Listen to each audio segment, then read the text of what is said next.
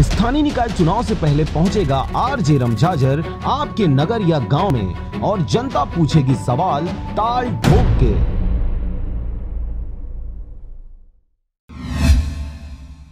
नमस्कार, आप देख रहे हैं आरजे राम झाझर और मैं हूँ पुखराज सिंह। कटघोरा क्षेत्र में अपहरण का सनसनीखेज मामला सामने आया है, जहाँ नवा गाँव के पास बने खंडहर नुमा मकान से मुँह हाथ बांधे दो नाबालिग भाई बहनों को पुलिस ने बरामद किया है। क्या है पूरा मामला?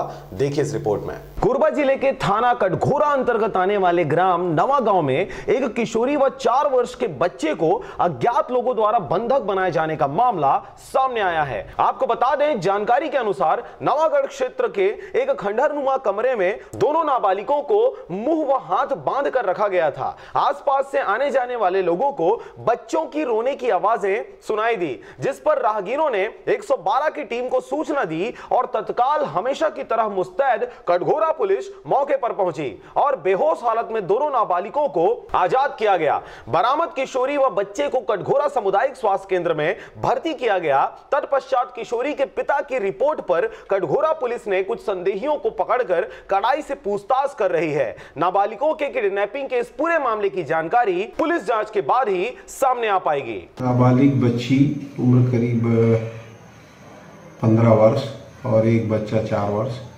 उसको एक व्यक्ति के द्वारा वहाँ से बहला पुसाकर एक रूम में ले जाया गया और उसके साथ मारपीट की गई और उसको रस्सी में बाँध दिया गया। इस शिकायत पर थाना कटघोरा में सूचना पर उसको पहले छुड़ाया गया और वो कुछ बेहोश जैसी थी बोल नहीं पा रही थी हॉस्पिटल एडमिट कर उसका इलाज कराया गया है। और इस पर उसके पिता की रिपोर्ट पर अपराध पंजीबद्ध कर विवेचना में लिया गया।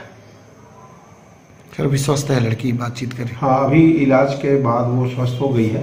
और उससे पूछताछ कर कथन लेकर के वास्तविकता और कौन ये है उसकी जाँच कर जाँच की जा रही कटघोरा से जयप्रकाश साहू के साथ शारदा पाल एवं शशिकांत डिक्सेना की रिपोर्ट, आरजे रमझाझर।